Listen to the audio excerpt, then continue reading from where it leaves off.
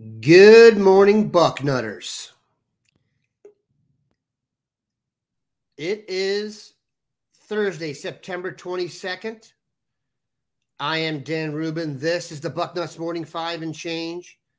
I tend to go slow here at the beginning to make sure everybody with eyeballs gets on here. We are live on YouTube, Twitter, and Facebook.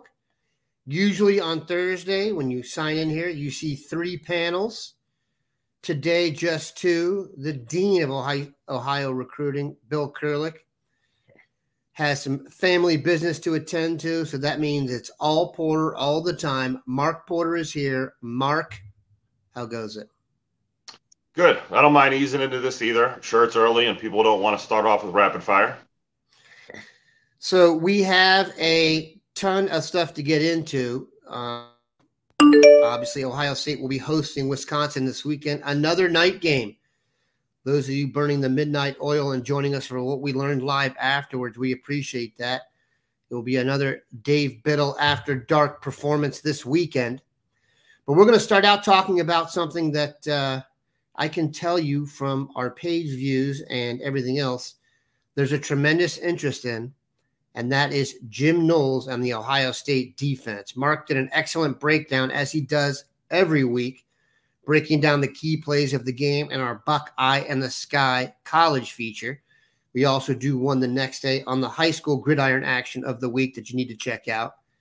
But, Mark, in layman's terms, we've all seen how much better the defense is in one year without a major changeover in personnel. How has Jim Knowles done it? Okay, so well, let's start off going back to last year. We've been doing this eye in the sky for a couple years. And I believe it was the Oregon game last year when we broke down the defense. Uh, the word vanilla was screaming. You know, Ohio State was lining up with their linebackers four or five yards off the ball, sometimes deeper, uh, basically in your standard alignment, like you'd see them on a chalkboard. And I think Ohio State, when they were playing lesser opponents, could be cavemen and just out manhandle their guys. And it didn't really matter what defense they lined up in. They were good enough to play a base look and, you know, go out there and play a an average team would be good. But when they played better teams, those base looks uh, needed to be schemed up, and you needed to be able to do some things and adjust to some things to to play those better teams and to give them some fits and some dilemmas. Uh, obviously, that didn't work last year, and Jim Knowles comes in and he brings the most complex defense I've ever broken down. If there's one more complex out there, or someone running something a little more uh, disguised than Jim Knowles, I'd like to see it. Uh, starting with the spring game, we went back and we said, what is this defense? What is going to be so different about it?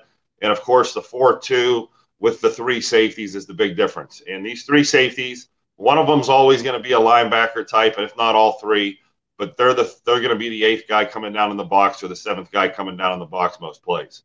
Uh, so when we're breaking this tape down, boy, it takes me a while to pause it, watch it, rewind it, pause it, watch it, rewind it, and watch all the guys moving back and forth that tells me if it's taken me that long that opposing quarterbacks with under five or six seconds walking to the line of scrimmage have no chance.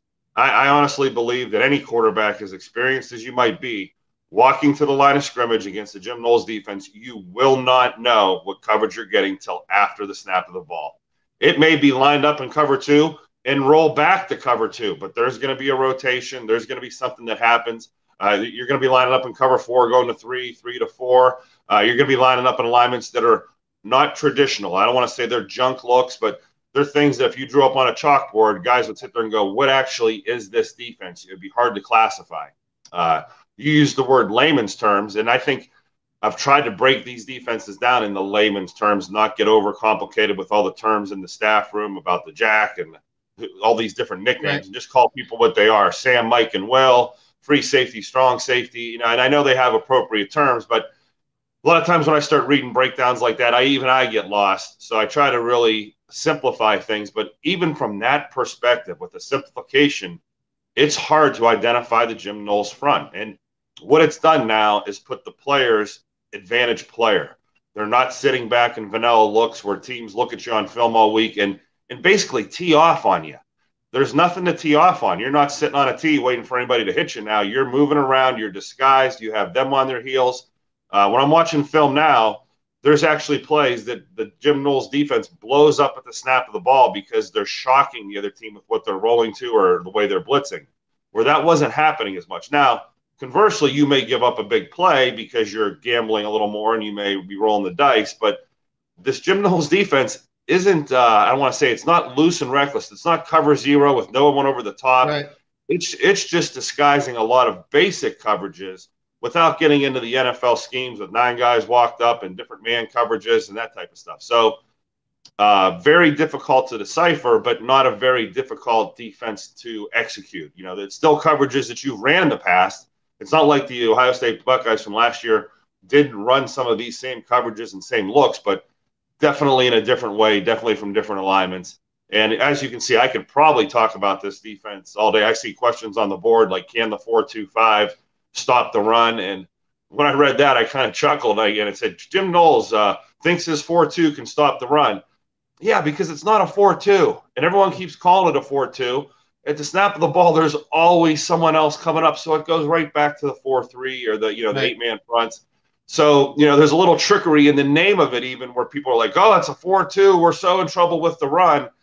yeah, watch the film, and, and you're really not. You're just kind of disguising everything by three or four yards. So I'll, I'll, let some more questions come in. I know I just gave a uh, the dissertation type answer there on your question, but you know it's early in the morning. I hope people followed it. We call that depth. Uh, I got a chance to see the defense in person this weekend. It's always interesting to me to get to see the team uh, in person from Mr. Bucknut seats, which in my opinion are the best. You get a great look at having been to like trillion games, very little separation on defense. I know you're saying it's complicated and stuff, but like I didn't see very many busts. There was never like the last few years you'd you'd come in there and every 10th play or so you'd see a guy just running free and you knew he was unaccounted for and something had gone wrong. As complicated as this may be, and the personnel may be better, but they did that did not happen. From a personnel you know perspective, that, that's a great point early in the season. You know, if we were going to see the bust and the the breakdowns, they would be showing up week mm-hmm. one, week two, week three, and you know, versus Toledo, you'd maybe see a few more. But you're right, there aren't busts on tape. I think the the only bust we saw was on the first play of the season. Uh, Notre Dame threw a hitch into the boundary on a corner blitz, and the safety was there. He executed it. He, missed the tackle, he just yeah. missed the tackle. Yeah. So, you know, what kind of busts are they? I, I don't know. So, from a cornerback blitz, a, a so a somewhat complicated scheme, uh, we're not even busting. By the way, the individual who missed that tackle was yanked and didn't come back in. So that might have actually sent a message of positivity that uh, worked out. Having broken down the film now schematically on defense, name a couple individuals that have jumped out to you. Yeah, I've been a, a JT Tuimoloau fan. I, I think he is going to be outstanding. His high school tape was one of those ones when I started talking about it. I'm like, you better be right because you're making this kid sound like he's one or two and done and straight to the NFL. And yeah, he's done that. Michael Hall, uh, of course, locally around here in Streetsboro, it's it's kind of a close. So I've been familiar with him, and like I said last week, people have been hyping him for, since he was a freshman in high school before there was a thing called hype, and now he is delivering on it. Uh, Jack Sawyer, uh, those those front four do more up front to make this defense work than we give them credit because what we just alluded to we're not sending the farm to help those four. That that front four is getting it done, and that's allowing us to play the base cover threes, the base cover four, cover two, the three unders and the three overs, keeping more guys back there where you don't have to sell the farm and bring guys because your one-on-one pass rushes are working. Uh, Michael Hall is literally unblockable with his first yeah. step. I mean, he might not get there every time, but he's penetrating the gap. He's getting washed away from the play. I mean, he's really someone you have to deal with when you see him on film. Uh, and I'm happy that those guys are so young. It's it's you know nice to see the future of this defense with the, the youth, and you get a couple years to watch these guys play. So we've really hit it perfect down the middle here, and I'm sure Coach Knowles is happy to have his front four like that. But there are other guys on the back end that have come in, but really that front four has been the difference. No doubt. When you it's it's a classic football statement. This doesn't take a master's like Mark has to know this, but if you rush the quarterback without blitzing, you just have a better chance mathematically to cover dudes. It's you know, I'm a Dallas Cowboys fan for my whole life. I, I think they ran the most ba- the, the, the the dynasty Cowboys were the most basic offense of all time. It's like you put an extra guy in the box, we're throwing it. You pull the guy back, we're running it. It's just that simple. We can man on man you up, we'll be good. And Ohio State, from a talent perspective, I mean, there's no team in the country they can't just line up with and play. I want to talk about one more guy before we get to the questions here, and that is Elias Rudolph from Taft. You saw him this past weekend. The most interesting thing that I got out of your report is where they are playing him. He's position in high school. He will not play in college. Uh, take us through what you thought of him and um, maybe his upside as a possible Buckeye. Yeah, one of the coolest things about this eye in the sky is we recruit these players to come in and play a position. Uh, a couple weeks ago, I'm at Lakota East, and Austin Siereveld's a punter. Correct. Uh, Incredible. Yeah, not something he's going to do in college, but you get to see these kids perform and do a task where he was an elite punter, the thump, and we talked about last week. You show up and watch Elias Rudolph, uh, he's a dominating tight end. Uh, watching him block, he had a couple of pancakes. He set the edge. They were actually sending him into the game to run behind him. What you're alluding to is on defense, they threw him down at nose man, one technique. And he does not look like a nose man in a million years. He's as long and stringy as they get at 6'5, 220. Uh, but what they've done is they've said, we're tired of putting Elias on one side of the defense and having right. teams simply audible to the other side and run away all night. It's a, it's, it's a waste of the player. We're not using him very much. So the coaches said, yeah, we have other guys that can play defensive end in high school. Let's put him at the nose and at the snap of the ball, try to run away from him. He's going to chase you to either side. And that's exactly what he was doing. And and what I love about it is you're going to force development and progression out of Elias this year because he is going to be forced to come off the ball and play with his hands. If right. his hands aren't on the center at the snap of the ball and he's not locking them out, Elias is going to be standing straight up and get double teamed by some big linemen. So he's going to learn to play low. And if you saw the film, he is playing low. He is down in a three point track stance. Shoulder pads are low, flat back, shedding guys, and he is getting to the C and D gap to both sides and playing along that offensive line. Pass rushing, he's blowing the gaps, and he got to come off the edge a couple times. It's not like they're not putting him out at defensive end in certain packages. Uh, off the edge, he's going to be unstoppable in high school. His first and second step, most tackles aren't even into their kick step yet. He really embarrassed the tackle that I watched him go against. There's a play where he does a spin move. The kid can barely get a hand. He runs by him another time. The kid's falling down on his back. So the explosive traits that don't match the nose man position is what Elias is known for. They're still there. And as far as his body type since Ohio State this summer, he was probably only about 210 or 205 this summer. He looked really lean, but he looks like he's put on a little weight. And with those leaner frames, the weight comes on slower. So it's going to come on steady, but it'll come on slow. So I want to say he's up to 215 or 220. By the time he gets to 230 or 240 or 50, he'll be a unbelievable player for Ohio State. It may take a redshirt year, but what you're buying is the explosion out of the blocks. It, it's rare, it's different, and it shows up on film and live every time you see it. And then the last part of Elias, what he did for us, is he brought the juice or the energy. Um, you see, there's a clip of him standing on the bench, getting everybody going after his big plays. He's got a little routine or a sack dance he does, and you can tell he's having fun, and his teammates are feeding off it, and the coaches are feeding off it it, it doesn't seem to be a cocky or braggadocious type of uh, feeling. It seems to be more confident, fun. You know, uh, bring the energy to your teammates. You're the leader. They're expecting you to be the Superman with the cape. Can you do it for your team? I think that's the role I saw him in up there. Uh, and boy, I would go back and see him again because watching him every time has been enjoyable. Uh, just puts on a show for you and gives you plenty to show the fans. Pretty sure the last guy Ohio State offered at Taft was Adolphus Washington. That worked out quite well. Man, what a high school player he was. By the way, I think he was Division two basketball player of the year one year. Adolphus Washington, great player. All right, quick break, pay some bills here, come back, and we'll let you guys have at it with Mark. All right, we are back. Theoretically, some bills paid there. And there was a great question here, Mark. We're going to start with this one. Okay. Larry Ventresco, one of our best question askers, especially when we are talking Ohio preps. Let's do this in reverse order here. Is Ben Roebuck, is Ben Roebuck a Buckeye caliber player? A little background and your answer. Uh, ben is about a 6'7, 300 and some pound plus pound offensive lineman who has lost a lot of weight. Uh, playing for St. Edwards, obviously, he's in a premier program, premier competition. The only thing with him sophomore year is his feet were a little heavier and he didn't bend as well as some of the other guys. Uh, we've taken linemen like Trey Leroux and these other big guys like Ben that you take and you mold after a couple, you know, seasons. So yes, I think Ben Roebuck is equal to the talent that has been taken by Ohio State in the past. I think they're doing their due diligence on this 24 class with Luke Hamilton and some of the other guys in Ohio before they fire an offer to Roebuck. Um, I wouldn't be surprised if the offer came after the season or once they kind of had a board put together where they do have a national idea of what's out there. Uh, you hate to offer someone on your board, you know, before you know what's out there totally nationally. I I use this analogy all the time. If you had a list of your top 20 girls you want to go to homecoming with, and it's six months before homecoming, you're not asking the number 17th ranked girl on your list of homecoming. You're waiting to see if the fourth or fifth girl breaks up with their boyfriend, and then maybe you get a better pick. So, not that Roebuck's the 17th best guy on the board right now, but Ohio State is waiting to see if there's any other hot offensive lineman out there, for lack of a better term. And then that's the way they'll go about their business. But I think Roebuck is OSU caliber. The size, the power is there.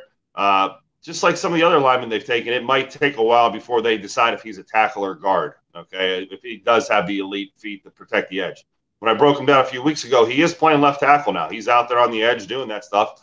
And I thought the reason I'm giving him my seal of approval is I thought he was as light as he's ever looked. I thought he was as flexible as he's ever looked. And obviously, with people like me criticizing him all summer about those traits and him reading the internet, I think he's identified it and put the work in and actually changed his body. Remember, kids at this age can change their body still and change the way they, yeah. So they have, it's not like they're finished products. And he's such a young kid that, yeah, uh, as far as uh, the best player in Ohio well, I've ever seen. Let me read that out for those for those listening to the podcast. The other question in from Larry was Mark, who is the best Ohio football player you have ever scouted? Yeah, that that question always gets me because every year there's two or three top of the food chain players, and and I disrespect uh, how do I say decades of players I've seen when I pick one. Marshon Lattimore, I've always said, just jumped off the film. I mean, or jumped off the field as soon as you saw him in person, like a receiver, running back. I mean, he was so good at receiver or running back. I still can't believe he's not a receiver yep. or a running back. Um, Elite return guy too, by the way.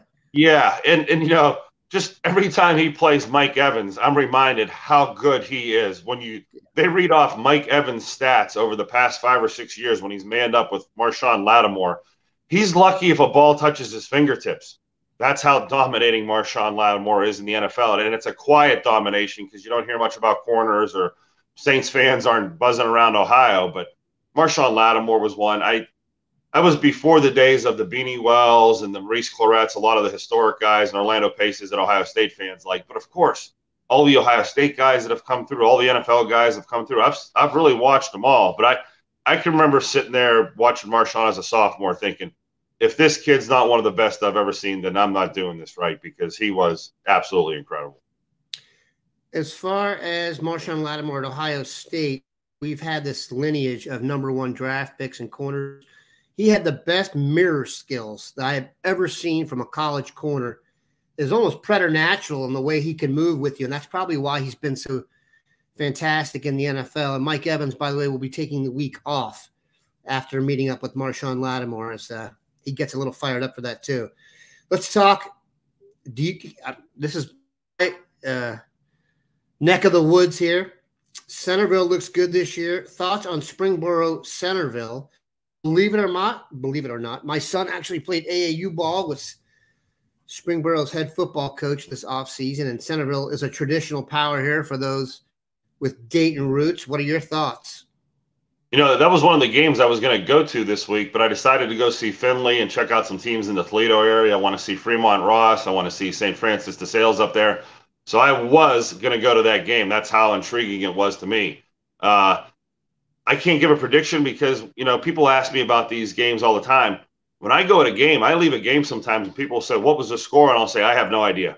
Right. I was staring at a left tackle. Uh, I was staring at a DB. Uh, I know a couple times they scored, but I really wasn't concerned with who was winning or who had the young quarterback. And a lot of times when I look at the roster, if you're a senior, I don't really pay much attention to you because I've probably already scouted you or you're not really a college prospect at that point. So everybody asks me, Mark, who do you think's going to win this game, or you should know who's. A lot of times, I'm not paying attention to the true makeup of a team. I'm paying attention to three people on the field that night and using a you know crawling up their butt to try to find out everything about them that night, and I'm kind of blacking out and not paying attention to the rest of the stuff. So I kind of you know walk away from the question with that answer, but uh, from a perspective uh, standpoint or a prospect standpoint, Centerville has three or four guys that I'd want to go back and see again. I saw the Powers kid again this summer. He's the one that comes to the, uh, mind, Reggie Powers. Uh, he might be listed at safety. I think he's on his way to linebacker. Saw him at West Virginia, Ohio State, probably four other times, and he got bigger and thicker. He's a powerful guy, so I think that's the way he'll go. Uh, a lot of good prospects on both those teams, actually, parentally. But sorry, I give you a long answer and didn't answer the question, actually as I'd love to insert my children, the same son also played with Reggie Powers in the eighth grade. So Reggie Powers is a solid little dude. Um, tough to guard in the eighth grade, and his body has gone towards football. Centerville, of course, probably the defending state champions. Uh, no, they lost in the state championship to Sonny Styles in basketball. And the Sonny Styles questions, we could spend all day answering those. We're going to finish with this one. We get this question almost every week. Mark, why is there not many or any at all in the Columbus City League talent wise from an Ohio State perspective? Not that common to get a guy out of the city. Yeah, I could do a dissertation on this answer. And you could change out Columbus City League with Toledo City League, Youngstown City League, uh, Dayton Area City League. What's what's happened over the years, and, and, and I'm trying to use a good example, is the feeder schools in those areas are dying. You know, the middle schools and places like that don't feed into those schools the way they used to. The second part is a lot of athletes have learned that, hey, if, if I'm a top of the food chain athlete by 8, 10, 12 years old, you've probably been identified by youth coaches as top of the food chain. And the word's out. There's too many high schools in those areas that will say, hey, come play with us, transfer out, and we'll take you. And I think that's where the dilution really problem is with the feeder schools and the, the best players being taken out. And then what you're left with is programs and teams that are just a shell of what they would be.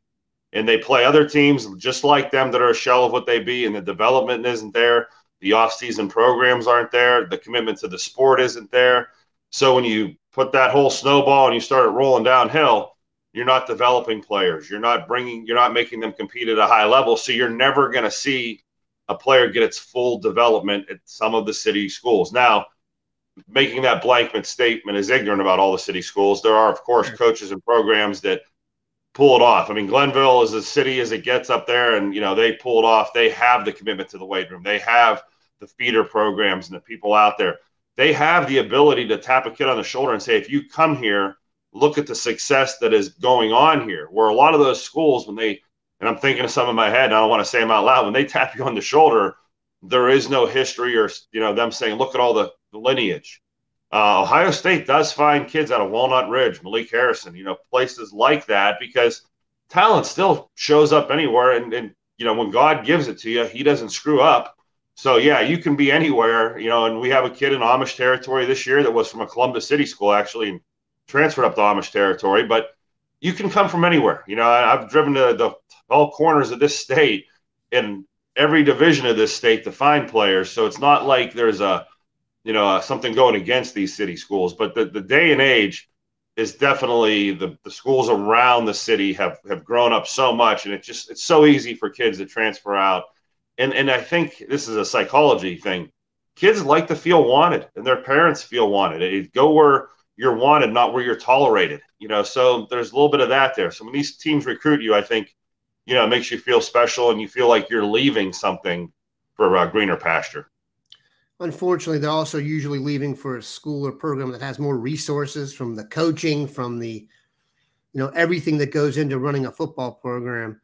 It's a big deal. Running a quality football program with that many kids and that many obstacles that you face at those schools that's a very challenging to be a coach there. Um, coaches there are sometimes have responsibilities they don't have in more affluent areas. You, you're you're a chauffeur, you're a coach, you're a counselor, and a lot of times. So, more power to all those guys who are putting the time in to do that because it is not an easy job. If you've ever had a chance to speak to a city league coach, they will tell you some stories behind the scenes. And those guys are big assets to the community. And we are very appreciative of the individuals who are willing to do that. I lied. Here's going to be our last. Go ahead. Yeah, the stories that I get from those coaches Incredible. are heartbreaking. When, when they, they say are. they're, you know, uh, third world problems and first world problems, some yeah. of these teams don't even understand what problems are. From, I mean, I, I kids don't have water running in their house, don't yeah, have yeah. three meals a day. You know, like parents that don't have enough money to buy tickets for the game that night. Sure. I mean, your parents can't come to the game because they can't afford to bring the family at six or eight dollars a piece. You know, so I, I, just I hate to you know bring up all these stories, but boy, are there there are different worlds of football in Ohio high school, and I'm sure we could do a whole podcast on you know stuff like that. We're going to finish with this one, Tom Pauling. You somewhat alluded to your Amish fascination here. Have you ever found that diamond in the rough in a small high school? If you could be specific here, maybe tell somebody, tell the group a name you saw that you surprised that surprised you out of a small place that turned out to be a quality player. Yeah, uh, Colton McKivitz at Union Local, and I didn't even know Union Locals in Ohio. I think that could probably be in any state. Uh, Springfield. The, yeah, there you go. It's down near the West Virginia border. And about seven or eight years ago, I go down to a scrimmage at Union Local to see Colton McKivitz, and he's a 6'7, 240 pound offensive and defensive lineman. And by the time the scrimmage was over, I was pretty sure I'd never seen a worse high school football player play football. Uh, he was big. He was awkward. He was getting destroyed by 5'10, 190 pound defensive linemen. I pretty much assured myself on the way home I would never go to a school that small again and waste my time on a kid like that again. He's the left tackle for the San Francisco 49ers right now. Uh, there was a lot of injuries last year, and he got called up off the you know streets, and he he played, and now he's still on the team. I I don't know if he's starting right now, but he was for the second half of the year last year. Now he went to West Virginia, had a great career. Uh, when he got a scholarship from West Virginia, I had to go back and watch the film. And just like all young linemen, yeah, the development came late. It wasn't there initially. But Colton McKivitz, if you Google him, yeah, I wouldn't have given a nickel that day for his future. And, you know, I know the question was, have you found anyone from a small school that you knew was the diamond in the rough? Yeah, there, there was a kid at West Holmes that ended up going to Kent State. You find guys like that. But this was one where I went there and I was dead wrong. And I still think to myself, go back to that film you shot that day and watch that again, and maybe send that to him and let him know where he started from. Because really, I remember walking out there as a scout going, I cannot like recommend this kid to anybody right now on my name, or they're going to laugh at me. And hats off to players like that that do develop and you know obviously identify the same things I did and work on them. And, and we just talked about Ben Roebuck. There were things about him that he's worked on. So, you know, all these linemen, they are late bloomers. Now that was a good answer for Diamond in the Rough. Uh, the San Francisco punchline there kind of jolted me back. That was fantastic. But that's what you get here with Mark. He is the best at what he does. If anyone who watched this or knows anything about Mark knows that. So I think we had a question about TC Caffey. Oh, that's right. Yep. See, and he's also better at hosting the show. Uh, TC Caffey became overnight sensation uh, last week. Got in run that uh, we run a loop and we running on a loop in the Caffey household for probably years now. And the question is, why was he lightly recruited? Um, a couple reasons. Uh, he was a tweener, okay, and he had a lot of stats at Hubbard, like a couple thousand yard season, best player in the area. I mean, he he really went nuts his senior year. Uh, Dad played at Toledo, and they didn't offer him a scholarship. That kind of put a chip on his shoulder. He is a high academic uh, player. He wants to be a doctor. So that mm-hmm. actually superseded any scholarship or anything that would have happened. Uh, he actually got a scholarship to Ohio State because of his academics and other things. So he decided if I'm going to go somewhere, anywhere, and I'm going to be a doctor, if I want to play football, why not do it at Ohio State? I believe was his thinking. Like, hey, if I'm going to make it, I might as well try it there. Why go to another school and be a doctor and walk on somewhere else? So yeah, they gave him a chance, and boy, you know, coming out of high school, there wasn't really a knock on him. I watched this film a couple times, and of course, I had local coaches banging on me saying, "Why is this kid not getting anything?"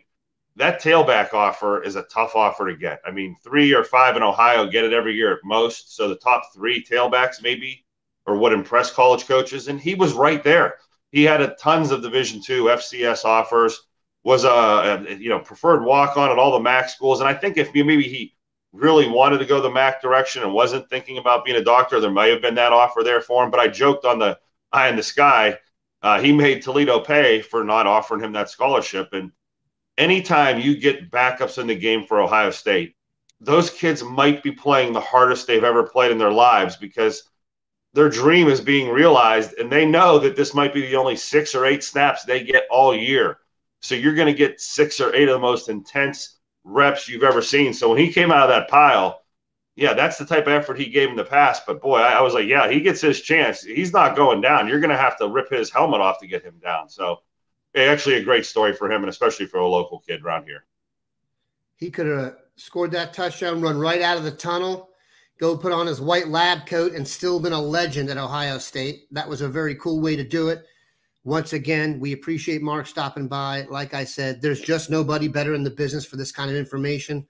He's a tremendous asset. We love to have him. Again, Buckeye in the Sky, Mondays covers the game. Buckeye in the Sky Tuesdays, the high school week, and then all Mark during the week. We appreciate him stopping by. Have a good one, Bucknutters.